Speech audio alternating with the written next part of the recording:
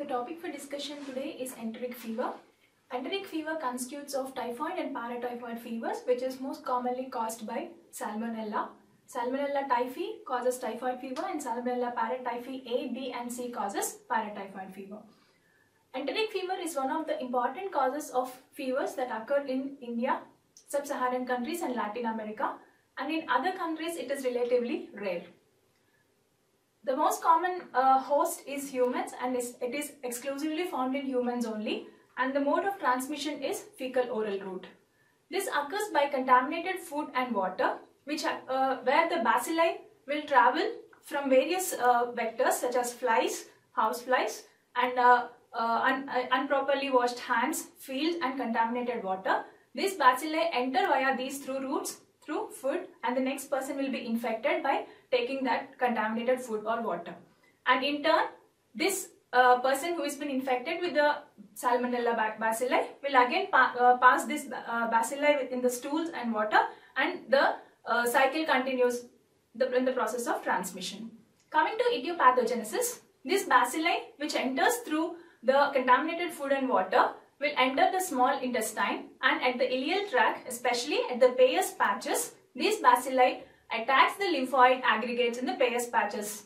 There, they develop and they multiply in number and they cause swelling of the Peyer's patches which in turn will cause ulcerations and also perforation in the complicated cases.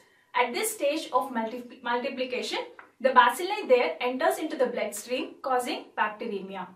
At this stage, in the case of severe bacteremia, these bacilli can enter into various organs such as liver, the uh, liver, kidneys and the other uh, lymphoid aggregates and also the reticuloendothelial system. Here they again give rise to various systemic manifestations. The normal incubation period for the enteric fever is about 10 to 14 days and sometimes it may last for a longer period of time. And, and sometimes the progression is also very insidious that is it is slow in nature and to identify that it is an enteric fever or typhoid fever probably it takes about one week after the initiation of the fever. After attacking various systems, usually the typhoid gives rise to various clinical manifestations. In that, high temperature is one of the clinical sign with a characteristic step-ladder pyrexia which will last for about 4 to 5 days. Patient will also exhibit other symptoms such as malaise, drowsiness, headache, aching of the limbs that is myalgia and patient may have persistent cough and also epistaxis sometimes. Another characteristic feature which usually appears at the end of the first week is rose red spots which are seen usually in the upper abdomen region and the trunk and sometimes at the nape of the neck and the back. Here these rose red spots usually fade on applying pressure and these usually last for about few days and these are most predominantly seen or mostly they are uh, easily identifiable on patients with white skin. After this, at the end of the first week and while patient is entering into the second week, patient will also have splenomegaly which is enlargement of the spleen. At this stage, patient will also have constipations, constipation due to enlargement of the ileocecal junction because of swelling of the lymphoid aggregates. This is because the bacilli attack these lymphoid aggregates and they because of they multiply and result in the swelling of this region. However, in children who are attacked with the typhoid or paratyphoid fevers, they exhibit diarrhea. They have a characteristic diarrhea called as pea-soupy diarrhea. Patient also exhibits with hepatomegaly at the end of the second week. However, if at all patient is not identified with typhoid fever or if it is not treated properly within these two weeks, they may land up into various severe complications such as hemorrhage of the uh, patches or there can be perforation.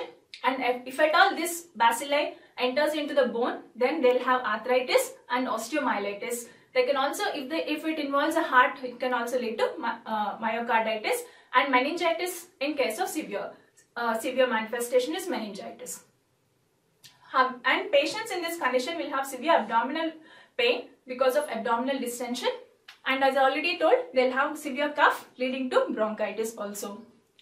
About 5% I mean after this 2 weeks of period if patient is properly treated then the disease comes to a normal stage but sometimes or most of the times what happens is 5% of the patients remain as chronic carriers for this salmonella typhi where the bacilli still will be present within the gallbladder for about 3 to 6 months of time and patient will be in infectious stage even after treatment for about 1 year. In this, in this condition, patient will have the capacity to still infect other patients because of this uh, excretion of bacilli within the stools and urine.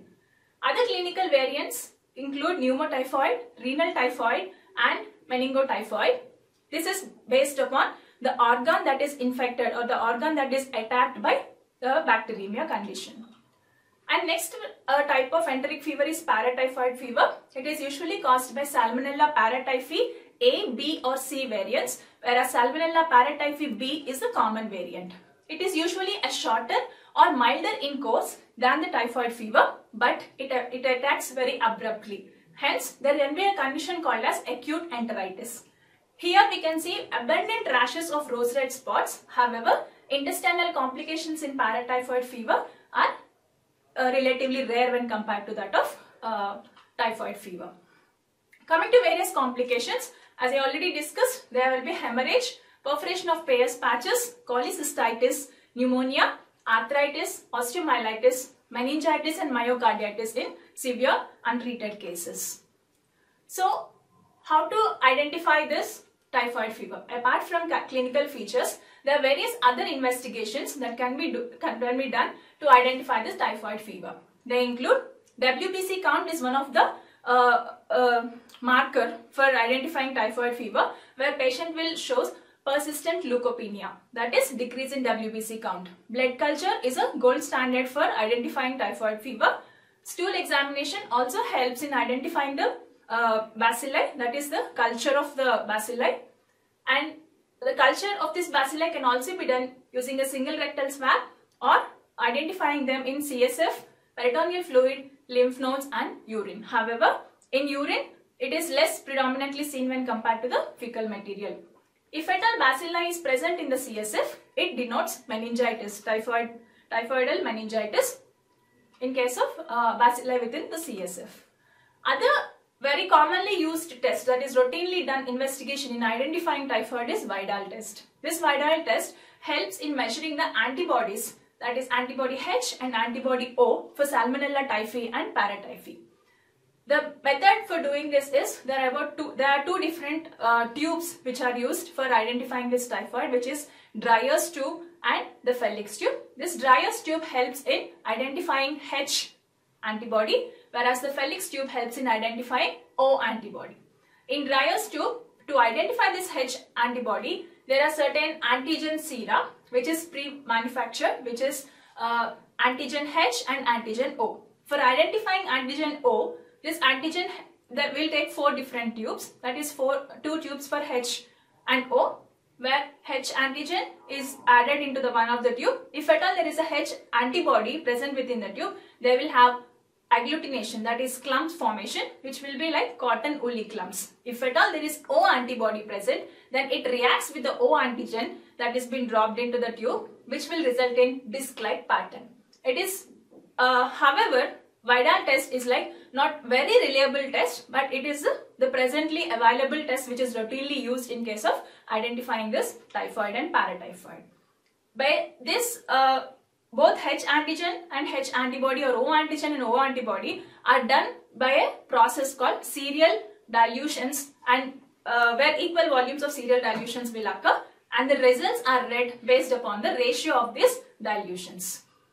Uh, whenever there is a high anti-O, it denotes acute infection. Whenever there is high anti antibody H, then it will uh, it will denote which type of fever it is, whether it is a typhoid fever or a paratyphoid fever. Coming to management of this typhoid and paratyphoid, first is symptomatic fever uh, treatment. Apart from that, fluoroquinolones, which is ciprofloxacin, is a drug of choice, especially if at all this Salmonella bacilli is, uh, uh, the Salmonella bacilli can be identified or it is uh, not resistant to the treatment. But unfortunately, most of the cases, most of the, in most of the cases, the, bac the Salmonella bacilli is resistant. Hence, there are other modes of treatment that is available, which includes chlorotrimmoxazole, ampicillin, amoxicillin 750 milligrams 4 times daily, chloramphenicol, which is 500 milligrams 4 times daily has to be given. In case of chronic carriers, same treatment can be continued with, for example, with ciprofloxacin, but it has to be continued for a four weeks period. Other preventive measures that can be taken includes uh, maintenance of good sanitation. Always cover the food with, with the help of lids and do not leave any food uncovered. Second thing, maintenance of uh, surroundings where uh, uh, uh we should make sure that there are no flies uh, or any dust or garbage that is left without any cover or just left without unattending.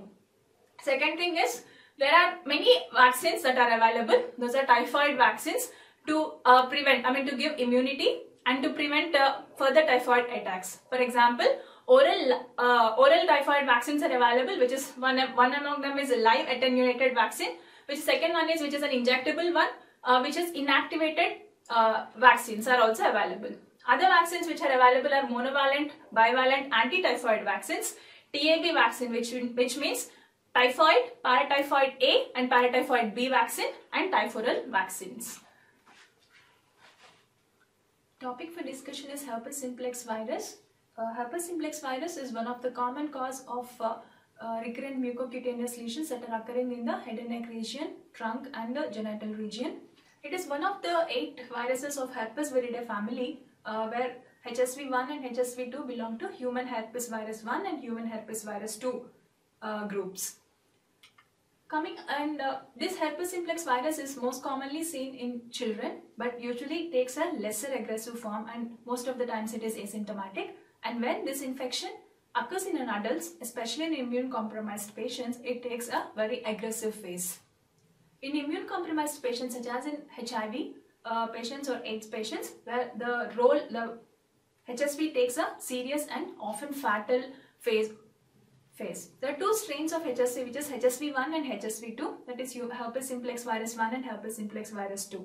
Usually this herpes simplex virus 1, HSV1 uh, attacks the upper abdominal region, head and neck region, oral region, eyes and the upper abdomen region. Whereas HSV2 is predominantly affecting the genitalia region. However, HSV2 is nowadays found in uh, uh, in the upper abdominal region, especially in the oral and head and neck regions also. The most, as uh, common, already told, the common sites of uh, infection is oral cavity, genitalia and eye. HSV-induced keratitis of eye is one of the most common causes of blindness in the world. Coming to the virus structure of HSV, it is usually a uh, well circumscribed, I mean enveloped virus. It is a DNA virus uh, with present within a icosahedral core with the outer outer uh, layer is made up of lipid and it has numerous glycoproteins that are emanating from this outer lipid layer and these are called as ENV proteins. They are usually obtained from the host cell membrane. Coming to the pathogenesis, uh, herpes virus is usually manifested or it is usually transmitted by uh, direct contact with the uh, lesions of the herpes HSV infected patient and secondly it is also by the secretions uh, that have been uh, secreted by the lesions and third thing is they are also by a airborne infection. This herpes virus when it has been uh, infected from a person who is already been uh, infected with this virus, it is inoculated onto the mucocutaneous region and the primary lesion forms at the site of inoculation. At the site of inoculation, there will be vesicle formation which later burst to form into a ulcer. During this stage of primary infection, the virus travels along the sensory neural axon and then it remains a latent within the ganglion. For example, trigeminal ganglion and it establishes a chronic or latent infection within that region. In course of time, that is uh, at, the, at, at a stage where an immune compromisation occurs, then this virus reactivates again giving rise to a secondary or recrudescent HSV infection at the site of this uh, the neural ganglion.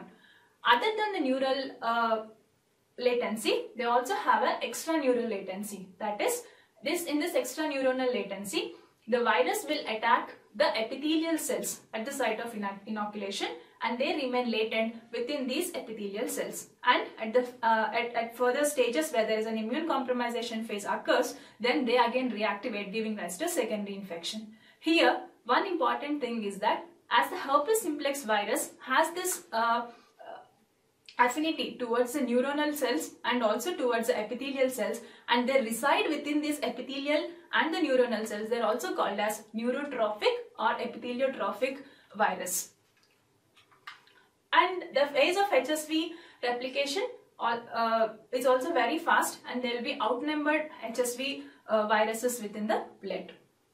Coming to HSV1 that is herpes simplex virus 1 it is usually a ubiquitous virus. That is uh, it is present omnipresent it is present everywhere. And when the most of the people uh, across the world about 30 to 100 percent seropositivity is seen in case of HSV1 and the, as already told these lesions are usually seen above the waist or the abdominal region and most commonly seen in oral lesions. I mean most commonly seen lesions are in, within the oral cavity. And there are certain other uh, uh, particular lesions that occur with, uh, with this HSV which includes one of them is herpes Whitlow where uh, patients or any, any patient who is in direct contact with already infected HSV person, the fingers are, are affected giving rise to vesicles and paronychia condition which is called as herpes Whitlow. Earlier, this herpes Whitlow was most commonly seen in healthcare workers, especially dentists, but later because of usage of uh, because of increased awareness in usage of uh, protective gloves, herpes Whitlow has been uh, I mean it has been reduced in its prevalence. Next is herpes gladiatorum.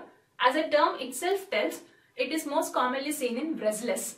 A person, uh, a normal person who has been uh, fighting or wrestling with a person who is already affected with uh, herpes simplex, the virus gets inoculated onto his the onto his trunk or other regions of the body wherever he is touched by the infected person. So this is called as herpes gladiatorum which was most commonly seen in case of wrestlers. Later, in, in severe cases where herpes uh, involves other systemic organs too, it gives rise to other complications such as HSV encephalitis, HSV pneumonia, HSV esophagitis, neonatal and disseminated infections. Neonatal HSV is usually seen in uh, when the mother is being infected during her term and the child uh, gets the HSV by direct contact. During this phase, in children, and especially at the neonatal age, as the immunity is not well developed, they may have very full, uh, severe or full-blown HSV vesicles and in case of eczema, this HSV along with the eczema, there will be more severe form of uh, HSV uh, infections. It is also associated with erythema multiforme and in Bell's palsy, about 30% of Bell's palsy cases, etiopathogenesis is related to HSV infection. Coming to the clinical features, the HSV infection manifests in uh, three variants of uh, three different variants which includes primary infection, recurrent or recrudescent or secondary infection and third thing is in immune compromised patients. Coming to primary infection, usually it manifests at, uh, at the site of inoculation. It is the primary infection that has been uh, uh, manifested by the patient. So the various clinical features it uh, gives is like gingivostomatitis, pharyngitis and genital lesions. Most commonly it is seen in children, infants and teenagers and it has a prodromal symptoms of 1 to 3 days before the uh, I mean before the infections uh, gives rise to vesicles there will be certain prodromal, prodromal symptoms which includes fever, malaise, headache, patient will have loss of appetite etc. And HSV primary infection is usually self-limiting even though a treatment is not uh, offered to the patient it is usually self-limiting and it uh, extends only up to 10 to 14 days of time. Various other conditions in, seen in the primary infection phase is keratitis, herpetic Whitlow, vulvovaginitis, balanitis. Oral lesions are most commonly seen in primary infection. The area of uh, infection in case of primary HSV is the keratinized mucosa, especially the palate, the gingiva and lip region are most commonly involved. Hence it is called as gingivostomatitis as it is the most common location. Secondly, pharynx is also involved, giving rise to severe pharyngitis. At the primary infection stage, there will be, at the site of inoculation, there will be multiple ulcers seen in the in one side and these ulcers will break giving rise to, uh, I mean these vesicles will break giving rise to uh, ulcers. These ulcers are usually of pinpoint size, uh, about 1 to 3 mm in size and later all these uh, ulcers will fuse to form a one big ulcer I mean uh, at multiple sites there will be different big ulcers seen. These ulcers will have a irregular border. That is the pathognomic sign of the uh, HSV oral lesions and usually seen on the vermilion border and uh, and in the next phases they usually uh, have crustaceans and heal, heal after the, uh, the infection. At this stage also normally uh, the lesions are infectious and they can be transmitted to children or any other uh, person who directly touches these lesions. At the gingiva region, these herpetic uh, lesions are usually fiery red, they are painful and difficulty in eating. Patient will have sore mouth and they, he or she will have difficulty in eating spicy foods and they will restrict to bland food. And usually these conditions uh, will be associated with fever or a prodromal fever uh, after which these ulcerations develop. Patient will also have difficulty in swallowing in case of uh, HSV pharyngitis. Coming to recurrent HSV infection, this recurrent HSV infection usually occurs uh, after certain period of the primary infection. In certain conditions like immunocompromisation state, immunocompromised state or when patient is uh, directly exposed to ultraviolet rays uh, and if they have fever in case of menstruation, there can be sudden outbreak of this HSV infection which is which was actually latent in the neurotrophic uh, in the neuronal cells or in the epithelial cells. If at all this HSV virus is present within the epithelial cells, there it will give rise to ulcers again. This uh, ulceration seen at the labial region is called as recurrent herpes labialis or a pathognomic feature called as cold sore is also seen. Other prodromal symptoms seen in case of recurrent HSV are burning, itching, tingling and uh, other sensations and also an extraneural latent HSV uh, along the sides of the dermatomes. The pathognomic feature is along the side of the dermatome, these le the lesions will be seen. In HSV in immune compromised state is another atypical uh, ulcerating lesions can be seen and it will have a, it will take an aggressive phase in this condition. It is usually indistinguishable from that of a recurrent aphthous stomatitis.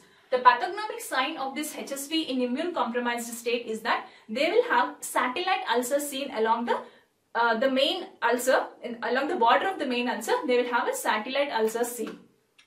Coming to other complications, in case of disseminated HSV, multi-organ involvement can be seen. Another important complication is HSV encephalitis. It will have necrotizing and hemorrhaging encephalitis in this condition. Various investigations uh, that, that help us in identifying a HSV infection is that primarily the history, proper thorough history of the patient and the clinical features itself will give us a, uh, a provisional diagnosis. But then other investigations that will help us in, uh, you know, uh, coming to a final diagnosis is viral culture which is a gold standard and polymerase chain reaction of the CSF will also give us a uh, diagnosis. Tzanck smear is one of the uh, histopathological feature that can help us in identifying HSV. This Tzanck smear is usually taken, uh, is usually done by collecting the fluid from the vesicle and it will be stained and uh, to see the Tzanck cells. Uh, also, another pathognomic feature in uh, histopathology is Lipschutz bodies where Cowdry type A intranuclear inclusion bodies can be seen. Coming to the management, usually a symptomatic treatment has to be given to this patient. Patient has to be given lots of fluids and for fever they have to give they have to be given with uh, given a paracetamol or any antipyretics. If at all an antiviral therapy has to be started, this has to be started within 48 to 72 hours of primary infection. Acyclovir will inhibit the viral replication and usually 15 milligrams per kg uh, body weight uh, for about 5 times a day has to be given. For adults, it is about 200 to 400 milligrams 4 to 5 times per day will help in preventing the, uh, the inhibiting the viral replication. And other uh, uh, recurrent herpes labialis uh, condition can also be prevented and by and by stopping this triggering factors which we already discussed. Coming to recurrent treatment or management of this recurrent herpes labialis, acyclovir topical 5% acyclovir top, topical cream can help in reducing that tingling sensation and it will help in faster healing and 3% penciclovir 10% docosanol can also be given. To prevent the recurrent attacks about 200 to 400 milligram acyclovir has to be given twice daily for about 6 to 12 months and after a 6 to 12 months drug free period. Even IV acyclovir is also available and this is the mainstay of treatment for HSV encephalitis. Thank you.